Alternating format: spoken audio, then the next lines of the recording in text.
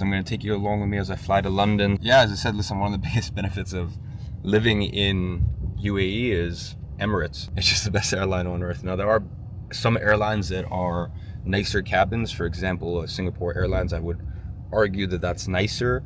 Um, but just the consistency with Emirates is unmatched. So, so yeah, I just got in the car. The private section for the commercial flights is about 25 minutes away from my house. So we'll just crank out a bit of work.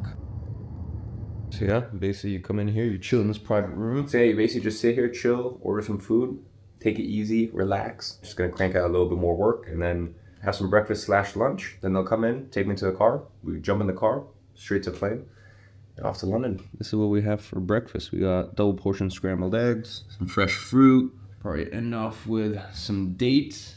Dates are honestly God's gift to earth. So yeah, time to eat and get back to a few messages. I'll be honest, I don't really understand people who drink on flights. Like being up at this altitude already, you got to be hammering down your electrolytes. So to then get like face on the flight, like yeah, no. So non-alcoholic Bloody Mary and lots of olives. If you don't like olives, I don't know how you can do business with you. Don't trust that person that doesn't like olives.